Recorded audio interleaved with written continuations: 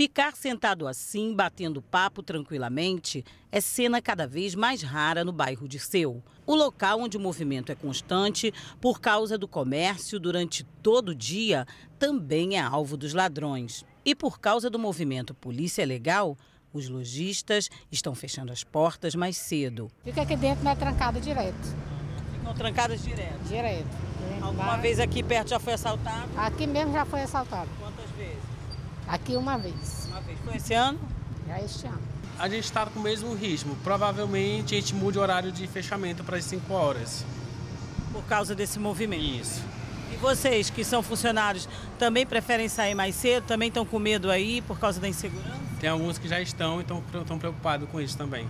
A loja aqui já foi assaltada alguma vez? Já.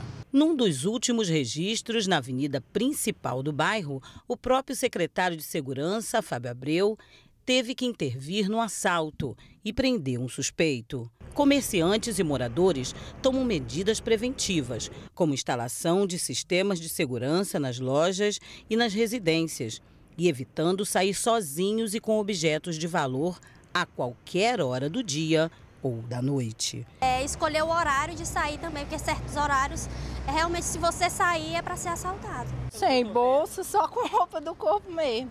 Você, lá, tá, você sempre anda assim? Lá, não sempre, mas se eu pudesse eu nem andava nem com bolsa nem com celular, porque é todo dia assalto lá na minha rua. A parada de ônibus lá, todo mundo tem medo. Este gerente de uma loja instalada no bairro há 18 anos acha que um PPO na praça inibiria a ação dos bandidos. Era bom ter um PPO para a gente constar, é, contar mais, mais rápido a segurança. Apesar de ter um, o batalhão aqui próximo, mas não sustenta a segurança. Preferia ter aqui então um posto aqui na praça. É, o PPO seria melhor.